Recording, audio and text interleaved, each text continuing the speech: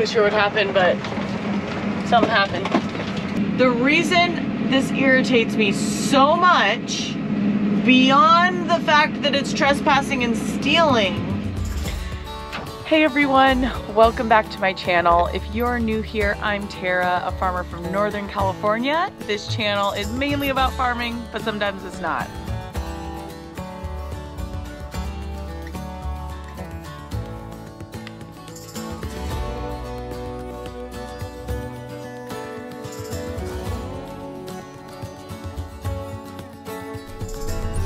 Hey everybody, it is day five of corn harvest.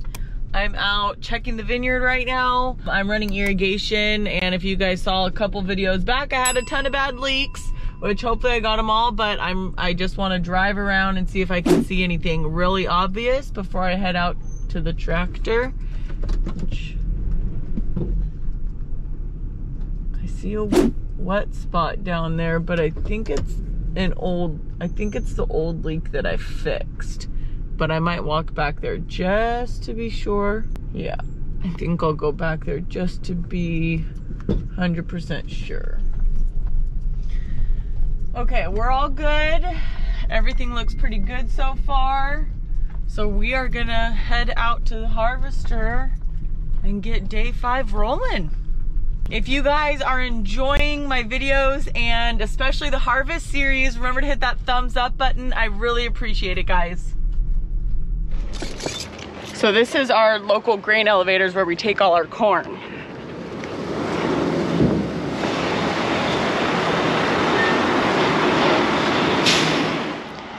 The first thing that happens when the trucks get to the elevators is they go and they've got this probe that they stick into the corn and it takes a moisture sample. Then they pull up on this piece here and that weighs the truck and the corn all together. Next, the truck goes to the back where it dumps all the corn out and then it's gonna head back over to that scale and get weighed without the corn. So that way we can get the weight of the corn alone. You know, that way we can minus off what the truck weighs.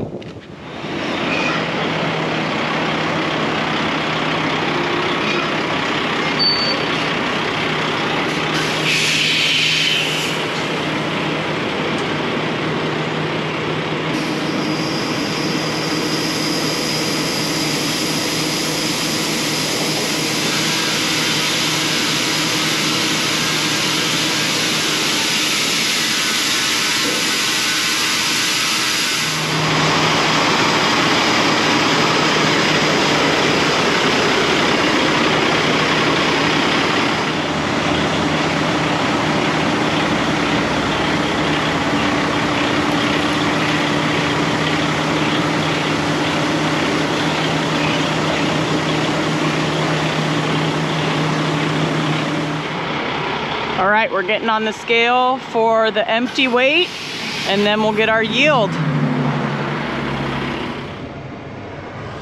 All right, we better quit messing around and head back to the farm. All right, back out in the field. Dad's been harvesting, uh, but we put my bank out wagon on the end of the field and there's a truck down on that end. So every pass he's just been dumping on each side. So I'm gonna get my bank out wagon. We're gonna drive to the other side, dump the load, and then we're gonna keep on rolling today, guys. Day five of corn harvest. Woo! Cleaned my windows this morning. See how long that lasts. Here's a little shout out uh, to my Pioneer rep. I saw someone on social media in this shirt and I screenshot it and sent it to him and was like, I need that shirt. And he delivered. Here's to women who farm. It's a Pioneer shirt. My Pioneer rep is Jason Root. He's been in a video before and he'll probably be in one this week because we're gonna be harvesting some plots, but I got my shirt.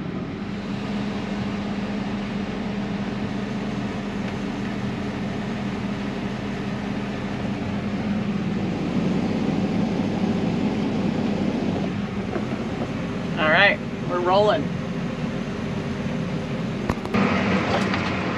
Well, I'm Not exactly sure what happened, but something happened.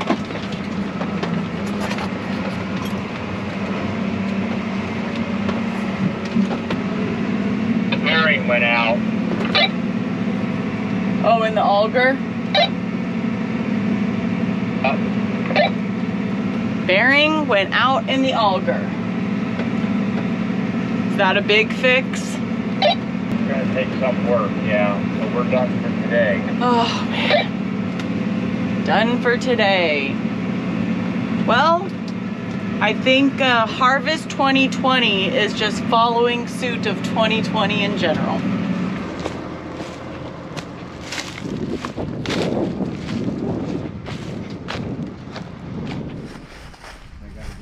Okay, what happened? Oh, those belts weren't like that, right? You did that just now. No, they were like that. They were like that while you were driving? Yeah, they're Oh. supposed to be inside and a bearing went out and they came out.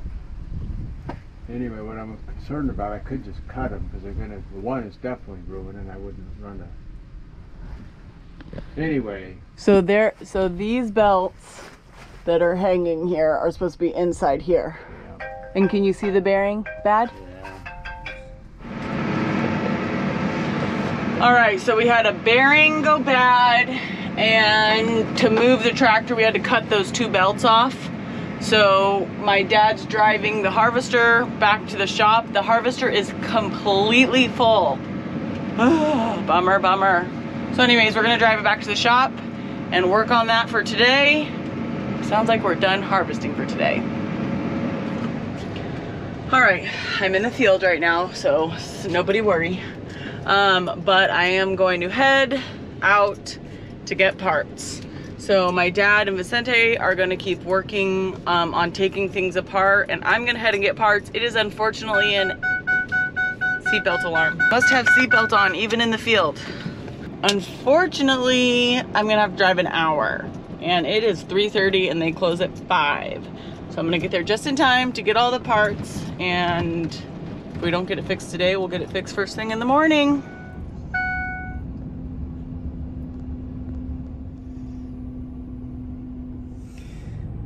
All right, time to head back. All right, day six. It's been a slow morning. Well, slowish for me. The uh, my dad and the guys got the harvester all fixed. I changed the oil on my pickup.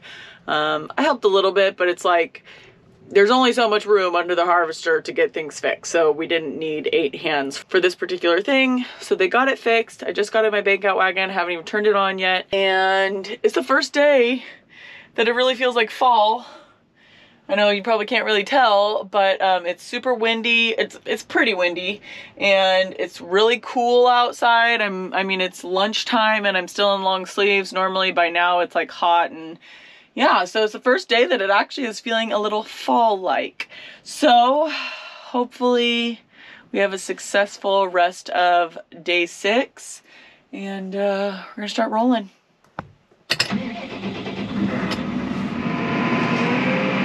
So a lot of you guys hear me call this a bank out wagon, which I don't think I've addressed this in any of the videos. Um, so if I did already, I apologize. Even six days start blending together. A bank out wagon, I hear, I think the most common name for it is a grain cart. I've heard some other names that I can't even think of right now. We call them bank out wagons. I am not the only person in the world that calls them bank out wagons. Basically, everyone in my area calls them that. Um, there's also, I've been told, Rice Farmer TV on YouTube also calls them bank out wagons. And the reason they are called bank out wagons here is because it used to be where once the crop was harvested, it went into the bank out wagon and then it got dumped from the levee bank. So, you know, we are we are surrounded by rivers here. So from the levee bank, they would pull up and they would dump the crop into a barge or a boat or you know, whatever. So that's why these are called bank out wagons.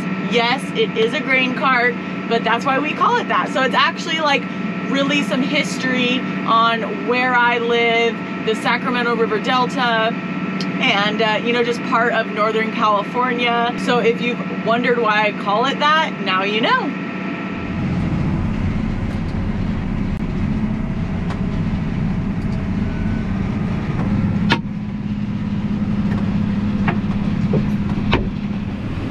we're hoping because of this cooler weather we won't have any pileups today yes the corn is still dry but you know, it's not as hot outside, so hopefully they'll get sucked through the header pretty good.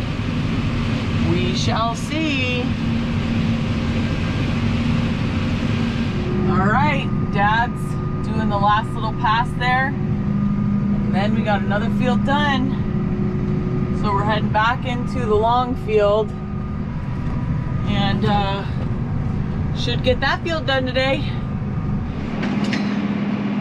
All right, so we're on a pause because we're waiting for trucks. We have two trucks full. Matt said, um, I guess a lot of harvesters were broke down, so he sent trucks down south. And now that people are getting their harvesters fixed and going, he's low on trucks. So we're gonna chill. Instagram, YouTube, TikTok. Text Matt, where's my truck? Shall we snack while we wait? What's my snack? Bam! Arroz con leche, aka rice pudding. If you guys have never had rice pudding, this is the bomb. Um, I used to only get it at like restaurants and stuff like that and then I recently saw it in the grocery store, so I just bought a couple to see if they were good. And they are. Milk from cows. Woo, it's so good. I love rice pudding. It's got like a little bit of cinnamon on the top. So, is this is today's snack, guys. Look who finally decided to show up with a truck. I've only been waiting forever. All right, the truck has arrived. My bank out wagon is full. The harvester is full. So as soon as he parks, we'll have that truck full. Oh, this is fun. This is fun.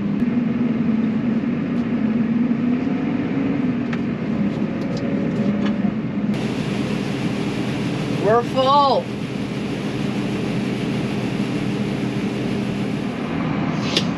Okay, that's one trailer full. My dad put his hopper in this trailer. Finished my snack. Already. Sad day. That was fast. That was fast snacking. Alrighty, we are back at it. Whoop, whoop.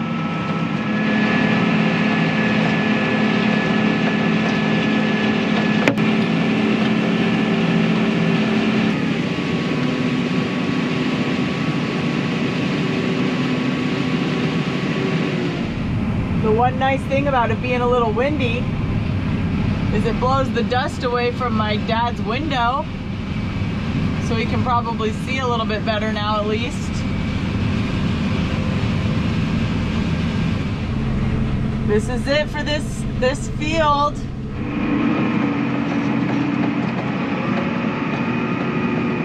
All right, we are done with one of our landlord's ranches.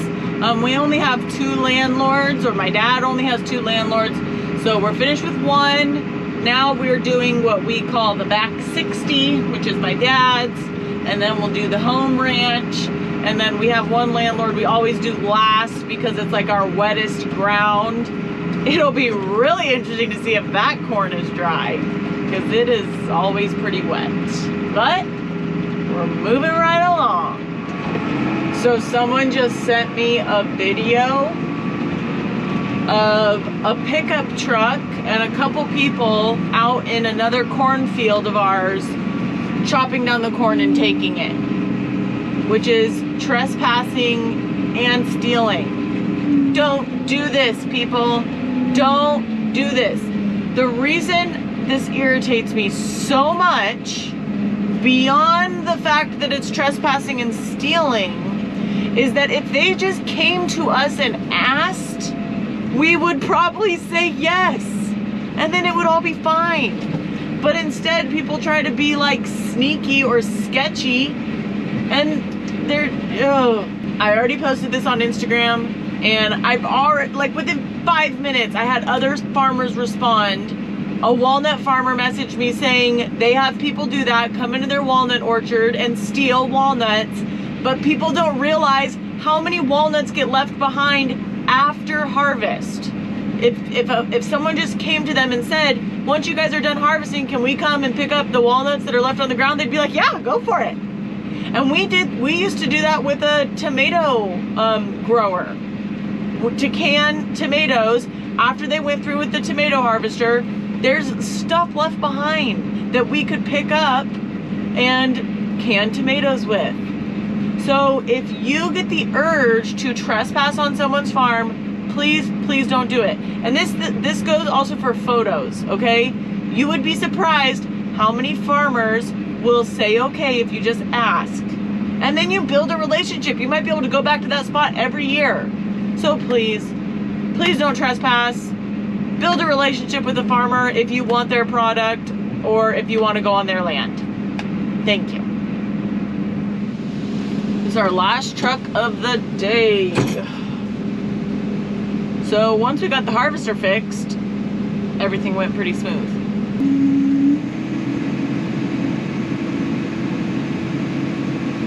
I think tomorrow we're finally going to talk about the Calmer corn header because even my dad mentioned that today.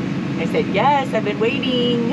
So, sounds like we're gonna finally talk about that. Hopefully get a little bit of video of it and let my dad review it a bit now that he's been driving it for a few days. This truck is full. Yeah. All right, that is a wrap for day six right? Yeah, day six.